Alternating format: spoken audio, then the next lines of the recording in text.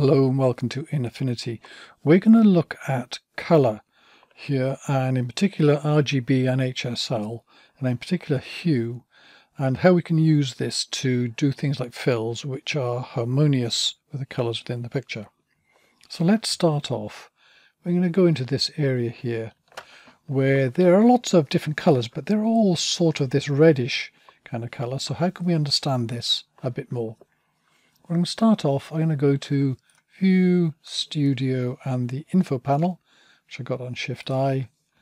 And if we go over here, watch the red, green and blue. As I move over here, it shows what's under the cursor. Sometimes it's more, sometimes it's less. So I'm going to brighter and darker colors within there. Which means, so the question is, how can I understand that a bit more? Well, I'm going to use the color panel from up here as well to do a bit more of that. So and then go to the pipette here, drag this over to here. Let's go to that there, which is kind of a fairly typical sort of color. Then um, click on the pipette and you can see here the color shape that's happening. And this defines the color. You've got blue is the lowest, red is the highest, and the green in the middle is a little bit push to the left. If you put it in the middle exactly, then the color here starts to be not matched so much. But when you push it over to the left, it's a kind of a matching color. You can make this effect as well. I can sort of stretch this and play around this differently. But if I pull that slightly to the left, the color I got there, there's a bright orange. You haven't got this range in here, but that's going to fit in there a bit better as well. In fact, you find one which would work better. Bring them close together doesn't matter here. Look at that. I've made one color there, which is going to fit quite well here. So the arrangement of here, the relative positions as well, is you're going to define the hue because you're going to get a consistent hue across here. Let's look at that again with the info panel. We'll change this one here to show hue. So I'll click on the top there, go to HSL. Now watch that H figure up there as I move around over here. It's not changing much, is it?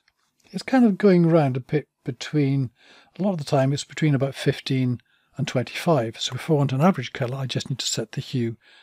I can look at the others as well. So if I look at saturation, then a lot of the saturation there, yeah, it's around about the 20-ish mark as well, isn't it?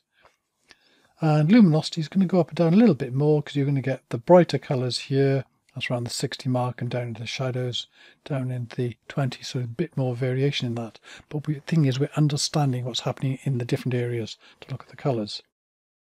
So, what can we do with this? What's the use of it?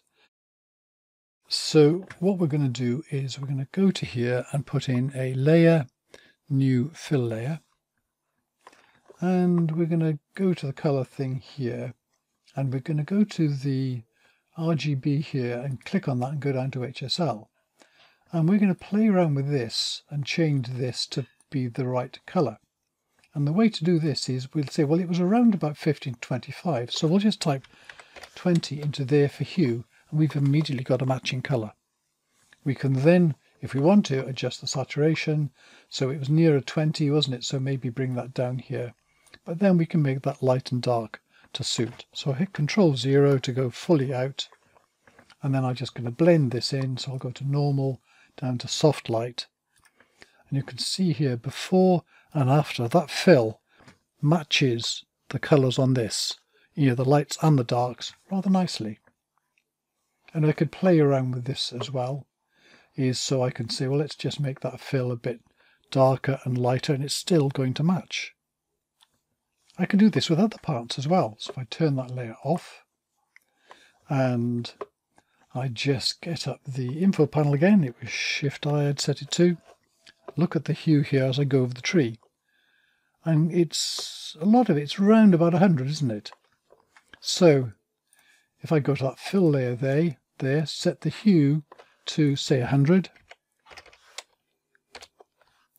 then all of a sudden I've got the tree here. Look at the difference when I turn that on, before and afterwards, it's brightening up that. I can turn down the effect, of course, with opacity, but I'm now enhancing the tree colour, the hue there. But what if I want to turn that down, I, what I can do with that is something which, is again fairly neat, but I need to, here there's a fill layer, I need to rasterize this because it doesn't work otherwise. So I go down to rasterize and I can put in an HSL. And the HSL, I can turn the color to be the opposite color. So I'll just simply drag this around 180 degrees and look at what's happened here. The tree now has uh, gone back the other way. So from being standing out a bit, the trees are now gone backwards. You can of course mask this so you're just applying it to certain parts of the of the the, the picture. But you've got ways there of looking for the hue, setting your fill colours to match the hue or be opposite to the hue, and either then bringing out that colour or sending it backwards and making it darker. That's it, and thank you very much for watching.